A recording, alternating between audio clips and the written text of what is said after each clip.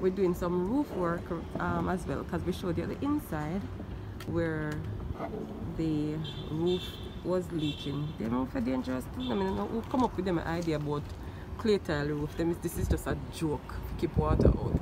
So today what we're doing is an easy solution. So if you're having a roof leak, you did one paintbrush, Paul? No, you can't use paintbrush. You can't use paintbrush with it. Alright. So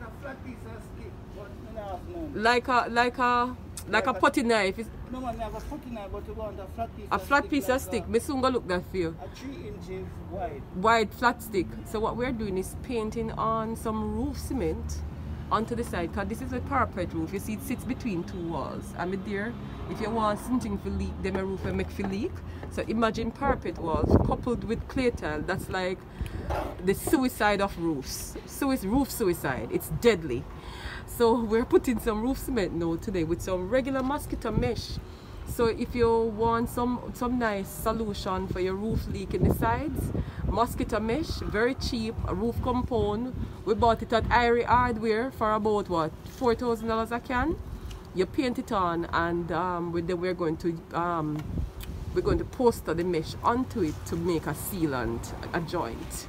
Alright, there you have it. How to seal your roof at a very economical cost. Cool.